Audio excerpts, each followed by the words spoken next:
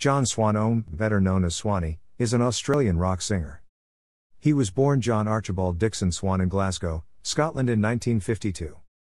He is the older brother of singer songwriter Jimmy Barnes and an uncle of stage performer David Campbell. In 2015, Swan was announced as South Australia's Senior Australian of the Year. And in 2017, was appointed an Order of Australia Medal. John Swan migrated to Australia with his family in 1961. When his mother remarried in the mid 1960s, he was the only child to keep the surname of his biological father, who was an adept boxer. Swan joined his first professional band, Happiness, as a drummer when he was 14. When he was 17, he enlisted in the Australian Army and was discharged after two years of service. In early 1974, he was the drummer with the James Wright Band, moving on to Jim Keays' Southern Cross for a short time.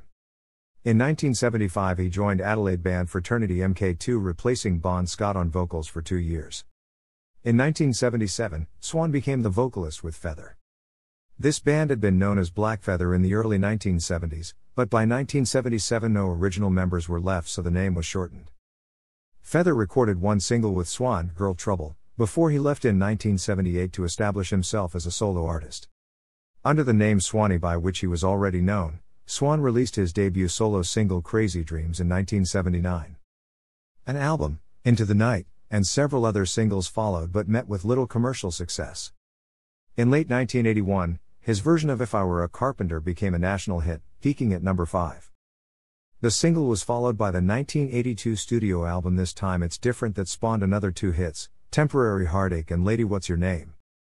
In 1986, Swanee featured in an advertising campaign for West End Draught, a South Australian beer. The brewer provided financial support to Swanee's tours and he in turn appeared in the company's TV commercials.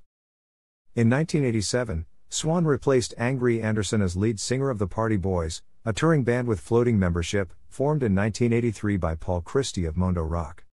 Swan's tenure with the band proved to be the group's most successful period. A cover of the John Kongos song He's Gonna Step on You Again peaked at number 1 on the Australian charts. The band's self titled album made the Australian top 20. Swan remained with the band until 1989 before going solo again. Since 1990, Swan's recording career has been less than prolific, producing only two singles that year, including a cover of Little Richard's Lucille for the Delinquents film. In 1997, Swan released Heart and Soul produced by Danny Bryan. In 2007, Swan released the album Have a Little Faith.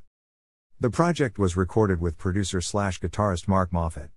The album was recorded with Nashville musicians. The album is a reflection of his past troubles and his love for the blues.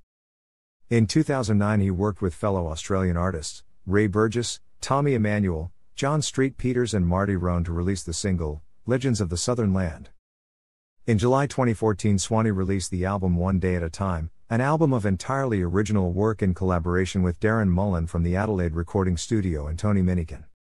In 2017, Swanee was recognized for his work with various charitable organizations with the Order of Australia Medal. In June 2021, Melodic Rock Records are releasing a new 20 track compilation, titled Greatest Hits. Other singles. Thanks for watching.